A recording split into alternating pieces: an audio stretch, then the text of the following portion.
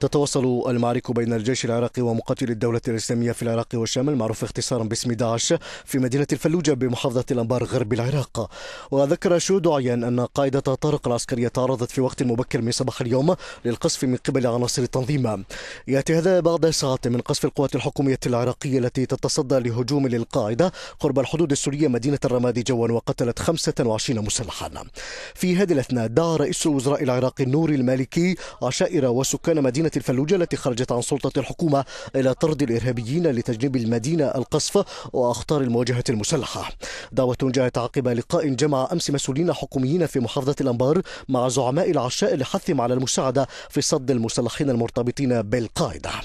وتمكن مقاتلو داعش من السيطرة على الفلوجة على بعض مناطق مدينة الرمادي المجاورة رغم الحملة العسكرية التي تستهدف معسكراتهم منذ نحو عشرة أيام.